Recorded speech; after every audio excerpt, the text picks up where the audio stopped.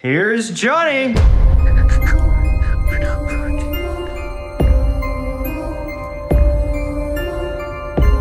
Check the church, all right? Johnnie's a good boy. He might be there. Yeah, out back having a nip of holy water.